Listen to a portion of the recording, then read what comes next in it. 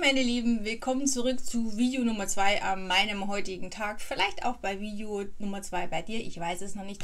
Und wenn du wissen möchtest, um welches Unboxing es sich hier in diesem Video dreht, dann wie immer schnapp den Kaffee oder den Keks oder oder oder.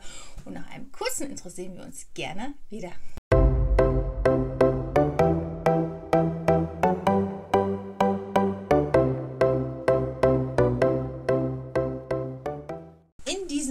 Ich gerne mit dir zusammen die Trendräderbox öffnen. Die Trendräderbox ist eine Food- und Lifestyle-Box. Da sind verschiedene Produkte drin, die vegan, tierversuchsfrei sind, Naturkosmetik, ein Accessoire, verschiedene Teile halt einfach immer wieder. Du zahlst, ich muss gerade schauen, weil die haben, also viele Boxen haben nämlich ihre Preise angepasst und ich bin jetzt aus dem Urlaub wieder zurück und dann schaue ich lieber mal nochmal rein, bevor ich da euch einen Schmarrn erzähle. Übrigens ähm, gibt es da unterschiedliche Abo-Varianten, flexibel, ein Monat, drei Monate oder zwölf Monate und ich bezahle 29,95 für 12 Monate. Also da schaut einfach mal auf die Webseite drauf. Ich verlinke alle meine Boxen immer unten in der Infobox und dann können Sie ein bisschen stöbern. Und zwar hast du 8 bis 10 Produkte immer drin und einen Warenwert von mindestens 80 Euro.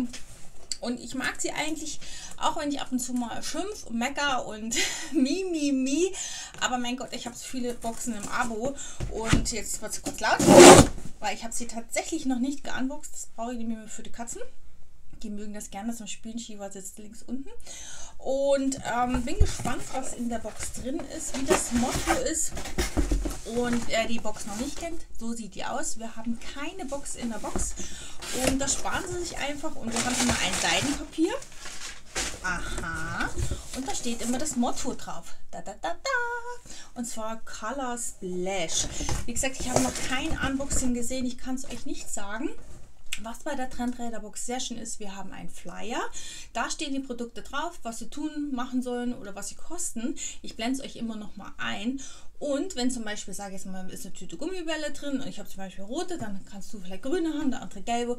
Genauso kann sie sich mit Shampoo verhalten. Also oder, oder, oder. Das heißt, wenn du ein anderes Unboxing schon gesehen hast, heißt es nicht, dass ich die gleichen Produkte enthalten habe. Ich bin auf jeden Fall gespannt. Ehe ich es vergesse. Da sind so Karten drin.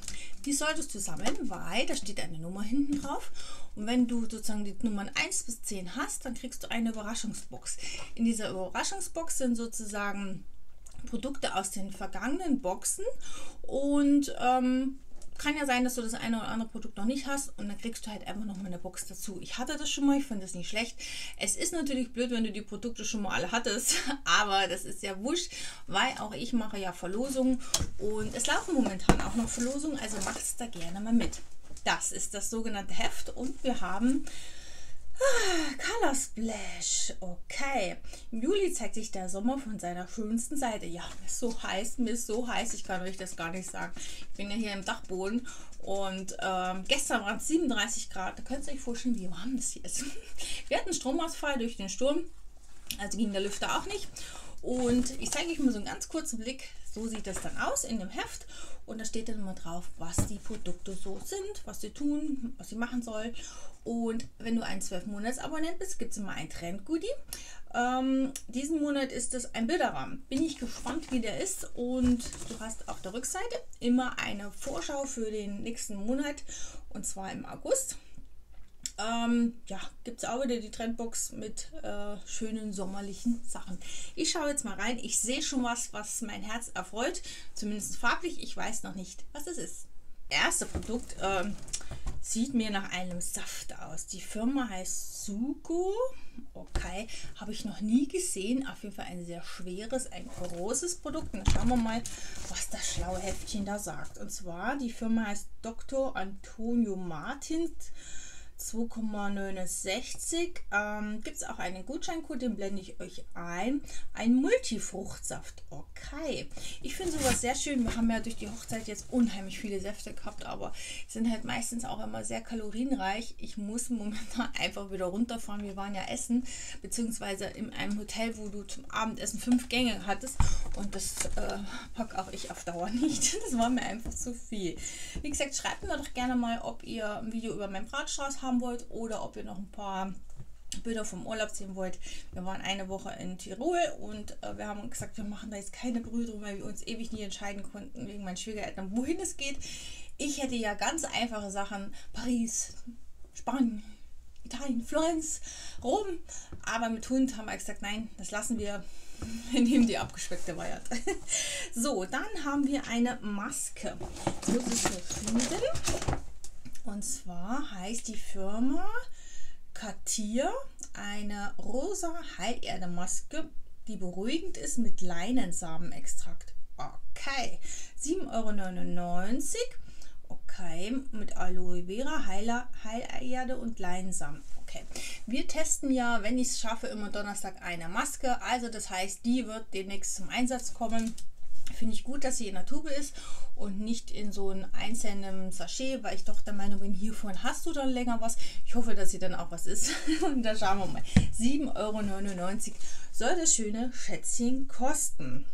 So, dann haben wir wieder Gewürze. Und zwar ein flüssiger Gewürzextrakt. Okay, wo bist du? Habe ich noch nie gesehen. Ich kenne das. Ähm, zum Beispiel Vanilletropfen kannst du äh, in Wasser machen, wenn du das Wasser nicht pur trinken möchtest. Oder zum Backen. Das kenne ich tatsächlich. Und hier haben wir von der Firma Pure and Spice, bekannt aus Höhle der Löwen, asiatische Öle ähm, Gewürzextrakt auf Ölbasis. Finde ich sehr spannend sowas, weil wir kochen gerne. Auch hier gibt es einen Rabattcode und du hättest drei verschiedene haben können. Und zwar, ähm, ja, kann ich leider nicht lesen, das ist so klein. Aber das ist nicht schlimm. Ich glaube, man hätte, ach, da steht es, indisch, asiatisch, Knoblauch. Indisch hätte mich auch sehr interessiert, muss ich sagen, weil ich liebe indisches Essen. Ich habe nur meistens das Problem, dass ich nach einem Ich vertrage es leider nicht, aber ich esse es so gerne. Ich bin Team Sushi. Wer mag von euch auch Sushi? Ich könnte mich neilegen in Sushi und teilweise mache ich es jetzt auch schon zu Hause selber, weil ich könnte das Trockennacht essen. Oh, okay. Das heißt, wir haben eine einzelne Pinzette äh, oder Pipette und dieses Gewürzöl separat drehen. Jetzt riechen wir mal. Oh, oh, Kennst du das, wenn hier euch das Wasser im Mund zusammenläuft? Oh, das werde ich auf jeden Fall mal probieren und werde euch da auch Rückmeldung geben, wie das ist. Und ähm, ja, ich sag mal, äh, da gibt es ja oft so, so Pasten, ähm, die du in bestimmte Mahlzeiten reinmachen kannst. Das finde ich gar nicht schlecht. Ich werde das mal probieren und dann einfach mal sagen, ob es was ist oder nicht. So, dann haben wir als nächstes, ich würde schon sagen, wo ist es? Ganz klein. Und zwar ist noch zu. Ich weiß noch nicht, ob ich es teste, aber wahrscheinlich schon eine nachhaltige Deo-Creme von der Firma Ponyhütchen. Hm, ja nett. 3,99 Euro ist im Karton sehr verschwunden. Ich weiß noch nicht, ich werde es probieren, weil Jasmin, Lilie und Rose mag ich von Duft sehr gerne. Ich benutze ja Syneo Deo, das heißt, ich schwitze nicht wirklich unter den Armen und brauche solche Sachen einfach nur zum Beduften. Ich hatte bloß letztens ein Deo, eine Deo-Creme, wo ich unheimlich Ausschlag bekommen habe. Deswegen bin ich in solchen Sachen vorsichtig geworden. Aber das testen wir einfach mal. Vielleicht duftet es gut und zur Beduftung reicht mir sowas völlig aus. So, dann sehe ich tatsächlich diesen Bilderrahmen. Oder ist es der? Ich glaube, Semiklon 17,50 Euro. Okay, finde ich jetzt für einen Bilderrahmen schon, also in der Größe, sagen wir es mal. Ähm, das ist, schauen wir mal, was das für einer ist. Mhm, Gibt es verschiedene. Natürliche Materialien, plastikfrei. So sieht das Schätzchen aus. Weil wie gesagt, wir werden jetzt einige Bilder den Rahmen lassen, aber ich kann sie leider noch nicht hinhängen, weil wir jetzt momentan unseren Flur putzen. Also schleifen, putzen, Farbe draufbringen, Holzverkleidung und äh, dadurch ist halt einfach noch sehr viel Dreck bei uns im Haus.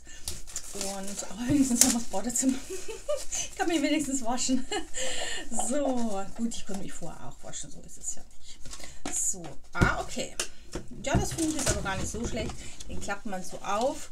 Ähm, finde ich gut, um halt in kleine Ecken was hinzustellen. Das finde ich gar nicht so schlecht. Ich fand das früher immer so in alten Filmen so schön, so wenn die ein Klavier stehen haben oder eine Anrichte und überall diese Bilderrahmen drin haben. Den finde ich farblich sehr schön, muss ich sagen. Wenn jetzt gelb oder pink gewesen wäre, wäre es jetzt nicht so mein. Aber in grün, nachdem Mann ja Jäger ist, finde ich das richtig gut. Gefällt mir auf jeden Fall richtig, aber für 17,90 Euro war, 17,50 Euro, weiß ich nicht, ob das mir jetzt das Geld wert gewesen wäre. So, jetzt kommen wir zu dem, wo ich jetzt nicht gewusst habe, ob mir die Farbe gefällt oder nicht. Und zwar ein stylisches Musselin Haarband. 24,90 Euro von Hutch und Patch. Ähm, ich werde es nicht aufsetzen. Ich überlege es mir, weil ich habe sowas ähnliches schon und mag die auch total gerne. Greife aber zu selten in letzter Zeit dazu. Deswegen weiß ich nicht, ob das mal zum Einsatz kommt. Deswegen werde ich das auch nicht anprobieren, weil das finde ich ein bisschen unhygienisch. Das mag ich einfach nicht. Klar, wenn man jetzt in den Laden geht, dann probieren andere die Hüte auch aus. Aber farblich, ja, für den Winter vielleicht. Aber solche Sachen mag ich sehr gerne, wenn das in der Trendräderbox ist. Finde ich eine gute Idee, weil äh, vielleicht kauft sich der eine oder andere sowas nicht, weil er denkt, ah, steht ihm nicht und dann hast du es in der Box drin und dann kannst du es einfach mal ausprobieren. Wie gesagt, ich habe jetzt schon einige, die ich mir ausgesucht habe, die ich sehr liebe, aber ich tue es halt einfach zu selten auf. Mir rutscht es zu sehr in den Haaren und das mag ich überhaupt nicht. so, dann haben wir wieder einen Tee wahrscheinlich drin, einen erfrischenden Tee. Tee, ja, heißt die Firma. Äh, 2,49 Euro Früchtetee. Tees finde ich auch gut. Ähm, der wird wahrscheinlich kalt aufgegossen, könnte ich mir vorstellen. Der leicht herbe Duft der Kiefernwälder kombiniert mit Hagebutte und Johannisbeere. Okay. Teebeute aus Bananenblättern. Okay. Finde ich sehr schön. Tee gehört für mich einfach im Winter, aber ich liebe Tees, deswegen kann ich das ganze Jahr Tee trinken. Und ich werde es jetzt mal probieren. Wird mir auf jeden Fall schmecken, das weiß ich jetzt schon. Das nächste Produkt ähm, könnte was für uns sein und zwar ein Bio-Müsli. Da gab es auch wieder äh, verschiedene Sorten, genauso mit diesem äh, Tuch oder Habband, seht ihr das? Und zwar ist das ähm, jetzt entweder oder ein Cashew-Drink, Gott sei Dank habe ich das nicht, oder dieses Müsli, Pure Müsli, 4,99 Euro. Ähm, mein Mann isst Müsli und deswegen werde ich es mal aufbewahren, mal probieren. Müsli finde ich geht immer, das ist eine feine Sache. Ich mag nur das Porridge nicht. Also beziehungsweise mein Mann mag es auch nicht, weil das wie Bappedecke schmeckt. Das ist wie wenn du ein Stück Pappe nimmst, zerschredderst und sollst essen. Das ist nicht so meins, ähm, aber auch hier gehen ja die Geschmäcker auseinander. So, und dann haben wir eins, äh, wo sie sich in der Farbe echt vertan haben. Da ist es gelb, hier ist es lila. Und zwar ist das ein Handspray von Mercy Handy. Ähm, Im Endeffekt ist das ein reinigt und pflegt die Hände. Das finde ich sehr gut. Optisch echter Hingucker. Ich mache es mal auf. Von Mercy Handy sind ja diese Desinfektionsdinger immer gewesen. Es riecht nach Lavende. Es ist auch mit Lavende und ich liebe Lavende. Ich habe heute erst wieder welchen ähm, abgeschnitten und zwar ist das Lavende und Eukalyptus. Finde ich sehr schön. Da freut sich auf jeden Fall meine Handtasche, weil ich liebe einfach Lavende. So, und dann haben wir noch was weiteres und das feiere ich ohne Ende. Und zwar ein Tragegurt von der Firma Nordlicht, 25 Euro. Und da kannst du jede Tasche, hätte es auch zwei verschiedene gegeben, kannst du jede Tasche damit aufpeppen. Das ist ja echt jetzt momentan ein Hype, dass du solche fetten Tragegurte überall dran hast. Und ich finde sowas toll, wenn du einfach, da wertest du jedes Kleidungsstück auf Farbe finde ich auch richtig gut. Ich hätte jetzt auch das andere, das mit den Rotbraun, hätte mich jetzt nicht gestört, aber grün trage ich tatsächlich viel mehr. Und das finde ich oh, mein absolutes Highlight in dieser Box. Ich weiß tatsächlich noch nicht, an welche Tasche ich es dran mache, weil meine Handtaschen alles haben. Ich kaufe nämlich extra solche. Aber ich finde das von der Idee richtig gut. Vielleicht geht mal einer kaputt, dann habe ich Ersatz und oder oder oder. Ich weiß es noch nicht, aber das ist tatsächlich mein Highlight in der Box. Für 25 Euro weiß ich jetzt nicht, ob ich es gekauft hätte. Aber ich war gestern zum Beispiel bei unserem Gemüsehändler, der hat so Einkaufstaschen. Und da haben sie die normalerweise auch für 28 Euro und jetzt gibt es die mit Tragegurt, kostet natürlich 32, aber wertet jede Handtasche auf. Also finde ich richtig toll. Und dann habe ich letztens in der Werbung schon gesehen, es gibt in manchen Boxen ein Green Ticket. Und ähm, das ist im, im Endeffekt so, ab sofort verlosen wir unter allen Trendboxen, egal ob Abo oder Einzelkauf, ein Green Ticket. Okay, dann kannst du sozusagen ähm, eine Box gewinnen. Und ich habe es jetzt nicht, finde ich jetzt aber nicht schlimm. Ich habe hier nochmal Werbung von der Deo-Creme, ähm, ein Rezept und ich habe noch ein Duschpulver. Okay, 2,95 Euro von der Firma Seifenbrause oder Sause. Ähm, Wasser, Pulver, schütteln, fertig.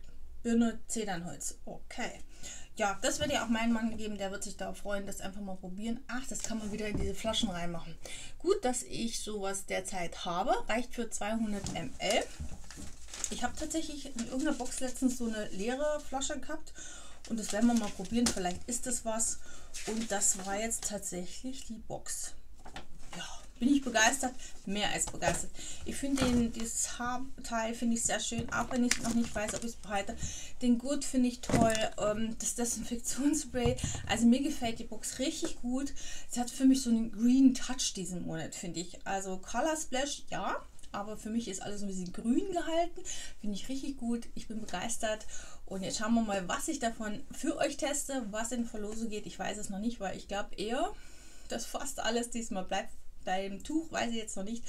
Aber auch das werdet ihr sehen, wenn ihr einfach wieder einschaltet.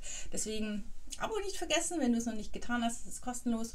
Und ich würde mich freuen, wenn ihr beim nächsten Mal einfach wieder dabei seid. Liebe Grüße, eure Hecke.